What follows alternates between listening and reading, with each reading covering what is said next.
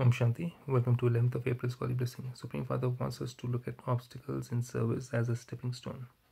So he says, May you consider obstacles in service to be a staircase for your self progress and thereby move higher as an obstacle free and true server.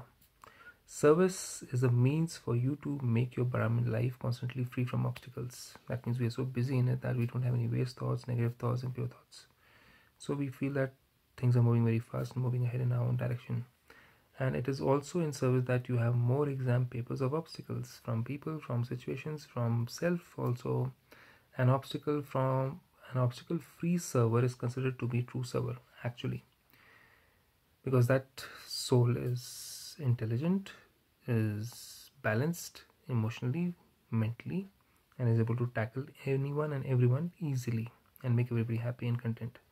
It is fixed in the drama for obstacles to come they are to come and they will continue to come because it is the obstacles and exam papers that make you experienced.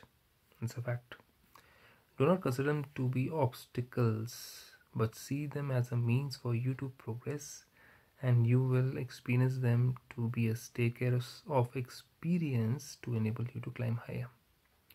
So obstacle is not an obstacle. It's a means to progress. It's a means to gain experience and then make better choices and move ahead and climb higher. Om shanti